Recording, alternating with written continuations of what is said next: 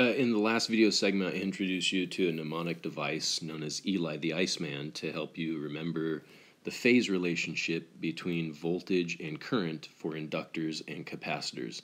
So I'll try to explain in this video lesson what exactly we mean by Eli the Iceman, and you can decide whether or not that's a helpful mnemonic.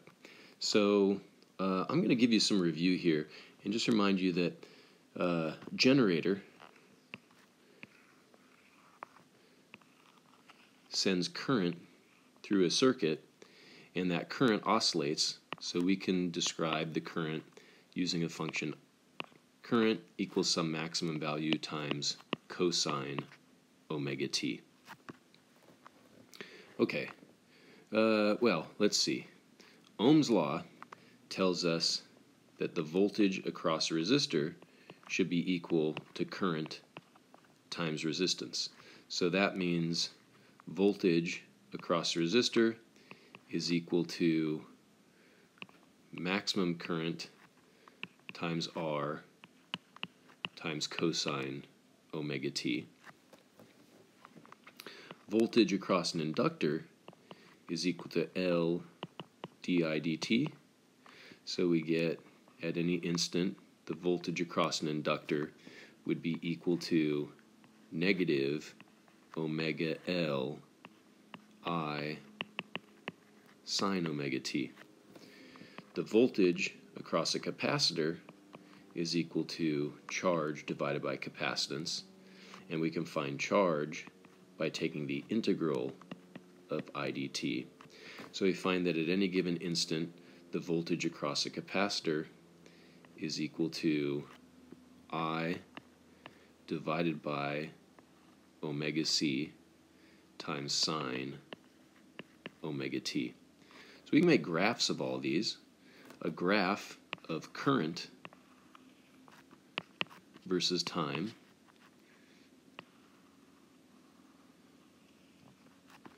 has a maximum value of capital I, a minimum value of negative capital I, and oscillates sinusoidally between those max and minimum values. What about this graph? The graph for voltage across a resistor. Well, it's also a graph of cosine. So the voltage across the resistor versus time has a maximum value of capital IR, a minimum value of negative capital IR, and oscillates sinusoidally between those values. How about a graph of voltage across the inductor? It looks like that's going to be a graph of negative sine. And it looks like it has a maximum value of omega Li and a minimum value of negative omega L times I. And lastly, a graph of the voltage across the capacitor. That's also a quantity that oscillates. It looks like that should be a graph of positive sine.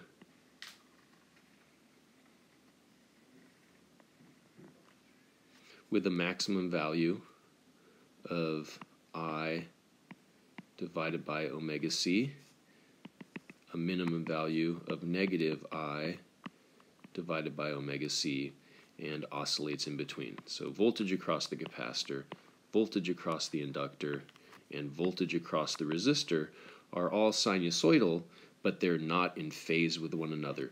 In fact, the phase relationship between the voltage across the inductor and the voltage across the capacitor looks like when one of them is most negative, the other is most positive, and vice versa. They are 180 degrees out of phase. Now the relationship between the voltage across the resistor and the voltage across the inductor, it looks like when one of them is most negative, the other one is zero. And when the voltage across the inductor is zero, that's when the voltage across the resistor is most negative, and so on. So those are 90 degrees out of phase. Now, which one occurs first? It looks like the zero for the voltage across the inductor comes a little bit earlier in time than the corresponding zero for the voltage across the resistor. And then if we compare graphs from there on, here's a zero followed by negative values reaching the, the most negative, and here's the same zero followed by negative values reaching the most negative. So this is occurring a little later in time than the voltages for the inductor. So the voltage across the inductor is 90 degrees out of phase, and it leads the voltage across the resistor. Of course, the voltage across the resistor and the current are exactly in phase with one another. They're both just graphs of positive cosine.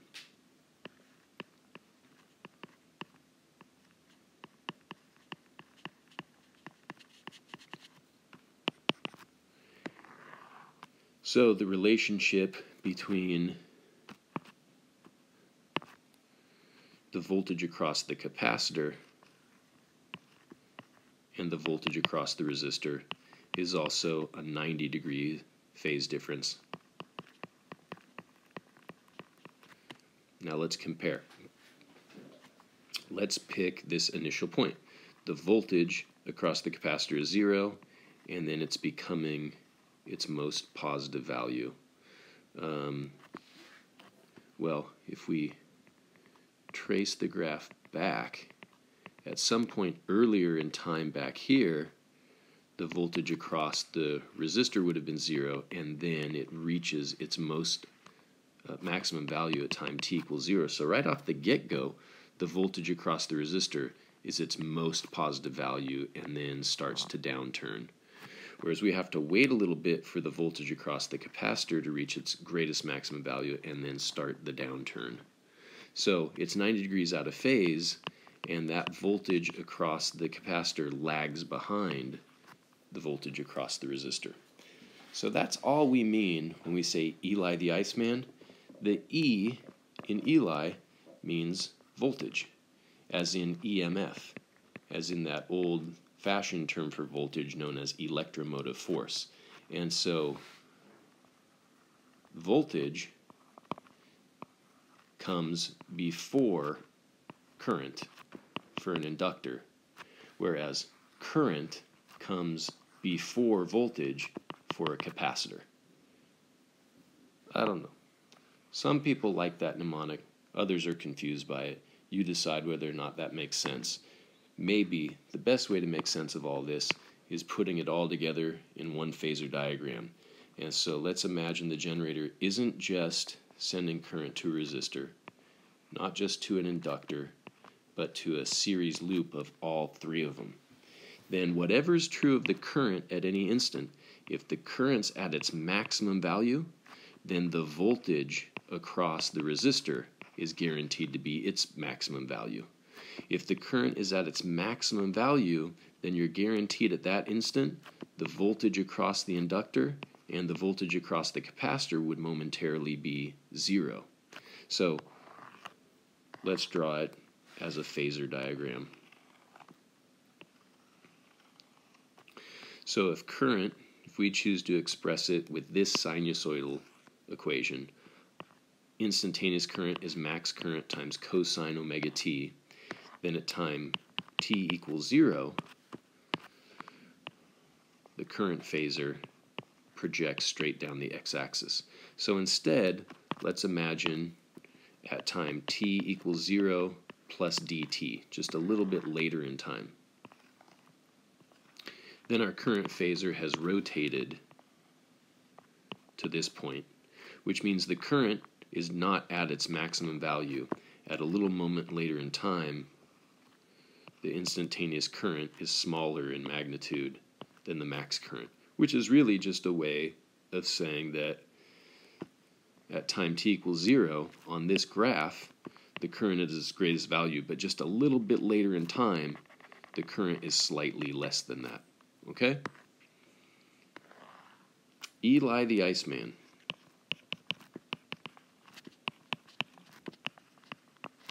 Voltage across an inductor leads the current. So I draw a phasor that points this way 90 degrees ahead of the phasor that represents the current, and that represents the voltage across the inductor. Its instantaneous value is the projection onto the x-axis. There's V subscript L. The voltage across a capacitor comes after the current or lags the current. So the phasor that represents the voltage across the capacitor is 90 degrees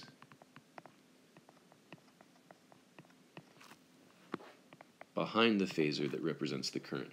And of course the voltage across the resistor is perfectly in phase with the current. So that's a vector whose length is capital V subscript r. The red one has a length capital V subscript c. And if I put their projections onto the x-axis, that's the instantaneous value of the voltage across these circuit components.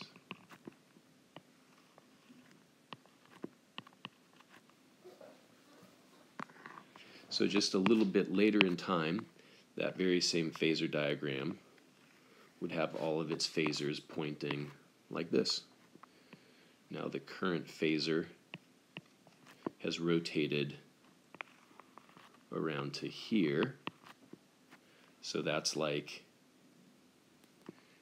this data point on the graph hasn't quite reached zero yet. You would have to go straight vertically to have reached zero. So here we are at another point. There's the current phasor. There's the voltage across the resistor.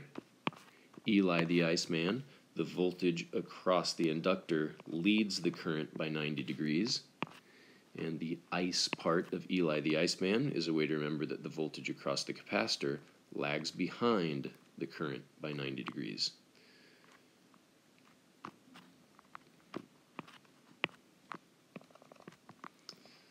So that right there represents the instantaneous value VL. This value is instantaneous value VC. This value is VR, and there you have it. Okay. So that's what we mean by Eli the Iceman, perhaps better illustrated with a phasor diagram.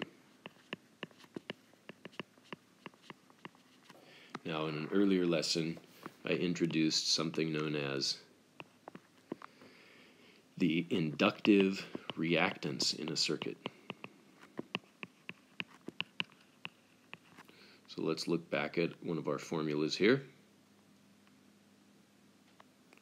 The voltage across an inductor is negative omega Li sine omega t. Voltage across an inductor is negative omega Li sine omega t. What about voltage across a capacitor? I divided by omega c sine omega t.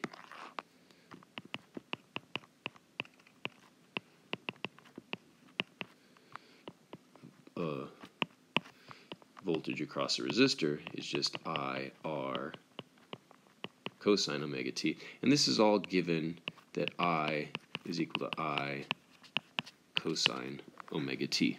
Okay. So, in our series circuit with an inductor, a resistor, and a capacitor, uh, the resistance in ohms is just the, the value of R effectively, the inductor has something like resistance. It has a quantity that's measured in ohms. There's a relationship for an inductor between the voltage and the current. Now, the maximum voltage across an inductor, well, the biggest you ever get when you take the sine of anything is 1. So the maximum voltage across an inductor is omega L times I. So if we want, we can say inductive reactance is equal to omega times L, then in that case we have the voltage across an inductor is the inductive reactance times the current. This is kind of like the voltage across a resistor is R times the current. This quantity, known as reactance, is a quantity measured in ohms in just the same way resistance is measured in ohms. So likewise, if the instantaneous voltage across a capacitor is I over omega c times sine omega t. The largest value you'll ever get for sine of anything is 1, so the maximum voltage across a capacitor is I divided by omega c. So we could say that capacitive reactance is 1 over omega c. If that's the case, then we can say the voltage across a capacitor is equal to capacitive reactance multiplied by the current. And so capacitive reactance in the same way is also a quantity measured in ohms. X sub L and X sub C. Inductive reactance and capacitive reactance.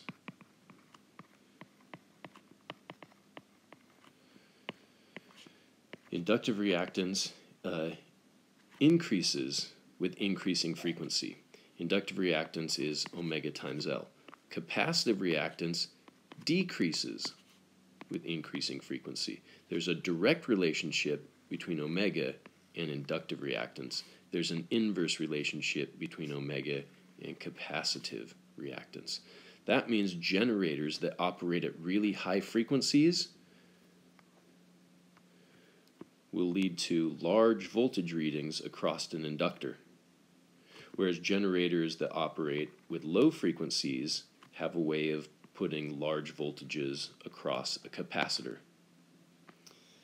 So, make note how do we calculate inductive reactance? How do we calculate capacitive reactance? And how can a phasor diagram help make sense of the mnemonic Eli the Iceman. In our next video lesson, we'll describe how different RLC circuits will behave when driven at high frequencies, low frequencies, or better yet, at resonant frequencies. So stay tuned. Thanks for watching.